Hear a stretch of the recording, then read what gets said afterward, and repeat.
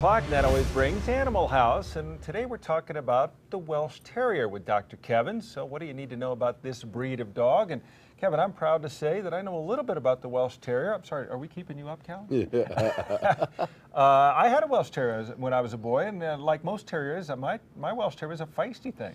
Well, terriers are you know they're they're. Uh, they're not for the faint of heart. A lot of good things come from Wales. You know, uh, uh, Richard Burton, Tom Jones, and, and, the Welsh Terrier, Welsh Corgis. But the Welsh Terrier is a wonderful breed.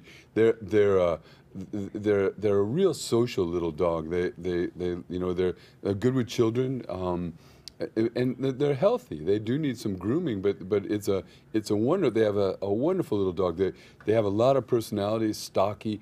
Uh, you know, they're they're good natured. And this is Callie. She's eight, and she's got her Bronco ribbon on. She's excited about the the season getting underway. Callie's a Bronco fan. She's from the uh, the Kreutzer family. They're, Susan Kreutzer, my buddy, was nice enough to get up early this morning and come in and, and bring her.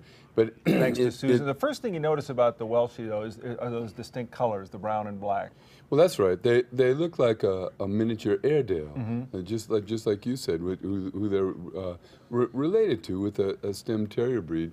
But these are one of the oldest English breeds, and we have uh, wood cuttings from the 1500s from Welshies, and and so they're they're uh, uh they're a national treasure.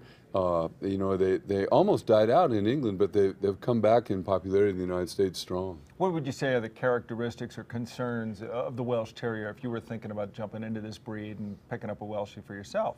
They, they do need some grooming. Mm -hmm. they, this, this type of coat does need some grooming, so they do need some attention that way.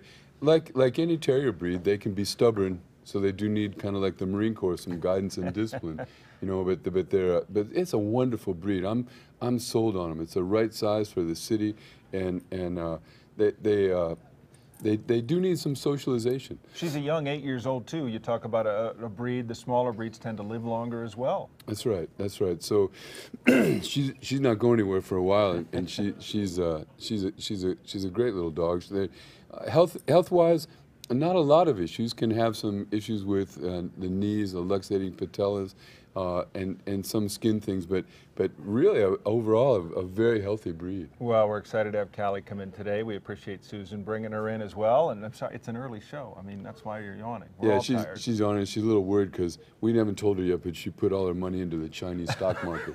yeah, we're going to keep an eye on that for you. Kevin, thanks as always. Thanks for all you do for animals. And thank you very much, Callie, for coming in this morning. All right, Kim. All right, thank you, Tom.